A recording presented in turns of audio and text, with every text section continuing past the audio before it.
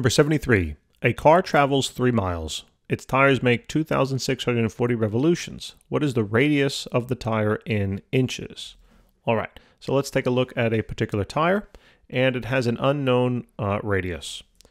We also know that this particular car, right, with this size of a tire, will uh, travel a total distance of 3 miles. Okay, so this will represent 3 miles. Obviously, this is not to scale.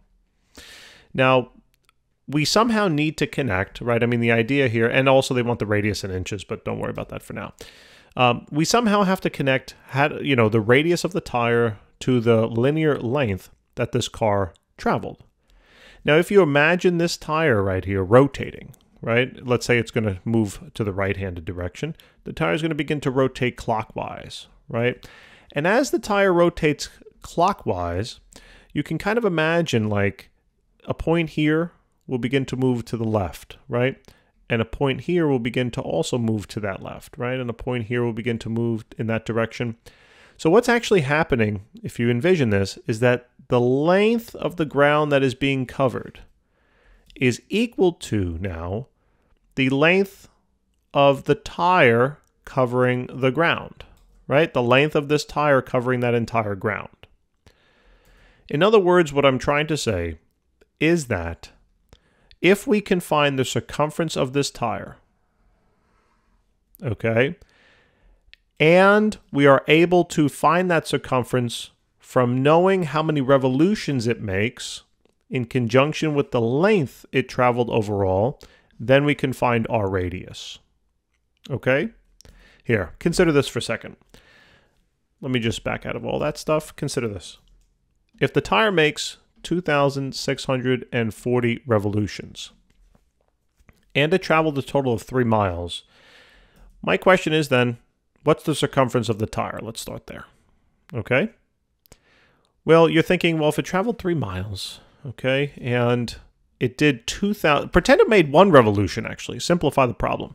Pretend this tire made only one revolution, and it traveled a total of three miles. That would mean that the circumference of this particular tire with, would be three miles, right? Because as it rotated around one whole time, it traveled a total distance of three miles. Okay, and that means whatever linear distance this is would equal one circumference, right? Or just the circumference because there was one revolution. But now pretend that uh, the car had, you know, a circumference of, let's say, three miles. And this were now six miles in total right? So if the circumference of the tire were three miles, I know that's kind of strange. That would be a huge, huge tire. But the idea here is that if the uh, circumference were to be three miles and the total length traveled were six, you would be able to find the revolutions, right? You know that it would make two revolutions because the only way to get from three miles circumference to six miles in total is to rotate this tire two times, right? In other words, we can think about it this way. We can say now with that understanding, we can say that the uh, uh, circumference multiplied then by the revolutions will equal the linear length. Let me spell that a little, well, write it a little neater. Linear length. The linear length traveled, okay? So the circumference, that's the unknown the amount of revolutions the car makes now is going to be 2,640 revolutions. Okay, and that will equal now the linear length that it traveled, which was 3 miles. Now, if you consider the units, I'll plug in the units here.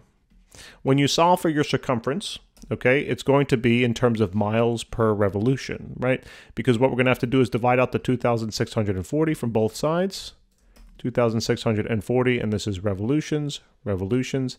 That goes bye-bye, plug it on into your calculator now. 3 divided by 2,640. And there we get our answer now, right? And I'm going to put the answer up here at the top, that the circumference is now equal to 0.00114, I'm going to round to there, miles per revolution. Okay? Now, I know that sounds a little strange, but this is basically one thousandth of a mile. Now that should kind of make sense, right? I mean, the revolu- the, the circumference of a tire should be quite small if we measured it in miles. Okay? Um, all right. So that's what circumference, by the way, is. It's a linear length per revolution, per one revolution. That's actually what the circumference is. You might only see it in terms of a length, which is fine, but the assumption is that it's per one revolution, okay? Uh, now, now that we have that in hand, let's erase some of this. What I'm going to do next is I'm going to find now the radius. How? Well, you have to consider if I know the circumference, I know the formula that connects circumference to radius is this, right? It's the circumference formula, 2 times pi times the radius. So if I simply now plug in that circumference of 0.00114, right, that's going to be miles per revolution, right, blah, blah, blah. It just it doesn't even matter the units, don't worry. The radius is going to be linear, you know, it's going to be a linear length now. This is going to be 2 pi multiplied then by r. To solve for r, just simply divide out the 2 pi from both sides.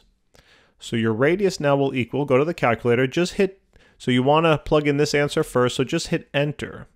Or excuse me, just hit divided by, because what it'll do is it'll take that prior answer and just plug it in there for you.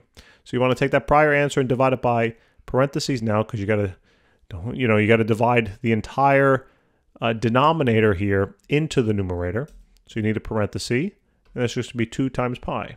Close those parentheses, and there you go. So the radius now is going to be 1.1.8, I'll just round to 1 times 10 to the minus fourth, and that's in miles, okay? That's miles. Now that's the radius, but they didn't want it in miles. What did they want it in? They wanted it in inches. So now all you have to do is figure out how do we get from miles to inches. You need to know a conversion factor. Uh, there's going to be about 5,280 feet in one mile. And then you have to know how many inches are in a foot, okay? So there's one inch, oh, well, no, one foot. one foot for every one inch. Now we can do our conversion with this information at hand, all right? Let's move that over. So we're going to take our 1.81 times 10 to the minus fourth miles that we found. When you do your conversion, whatever unit you want to cancel goes on the bottom whatever unit you want to find next. Now, I'd like to find inches, but I don't know a relation. Do you know how many inches there are in a mile? If you do, you can do this in one step. You just plug in your numbers. All right, but I, I don't, so I cannot do it in one step. I do know, though, how many feet are in a mile, okay? And therefore, I'm going to go from miles to feet first. And I plug in my unit, my numbers now. One mile is equivalent to 5,280 feet. See, what'll happen now with the units is that the miles cancel. When you do the multiplication here, you would get your answer in feet. But we don't want to stop there. We want to continue. So this is like my new unit that I want to cancel. So that's why I'm going to write it on the bottom. And now I'm like, can I get to inches? And the only way I can get to inches is if I know a relationship between inches and feet. I'm like, oh, thank goodness, right? One foot is equivalent to 12 inches. And I don't know where the 12 went over here now that I'm looking at it. So hopefully if you, if you wrote something down and be like, ah, it's 12, Hopefully you continued watching because I found it, found the error. Um, and now notice, lo and behold, that the feet will cancel and that will now equal our value. So this was the answer that was already in that calculator. You see it up there? So you want to take that value now and multiply it. So just hit multiplication in the calculator. And what that'll do is it'll say answer times, it takes the last answer you had here and plugs it in. Okay. Multiply by 5,280 and multiply that by 12 inches. Isn't this TI great? Such a great calculator. Um, so this is 111 point now 459. You know, it depends on where you want to cut it. You know, uh, I'm going to cut it here at about, I'll cut it at 4, you know, 4, uh, 6. Okay, and that's going to be inches now. And that would be then the final answer. That's then the final answer. That's how many inches the radius will be. Uh, you know, we should have probably one significant figure because this only had uh, one significant figure in it. If you're like, what the heck are significant figures?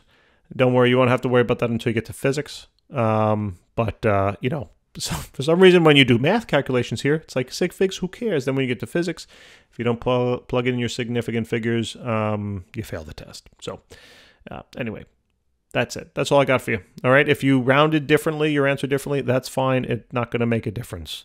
All right. Um, yeah. Guys, thanks for tuning in. Appreciate it. Hopefully this video helped, and I look forward to helping you with more. Take care.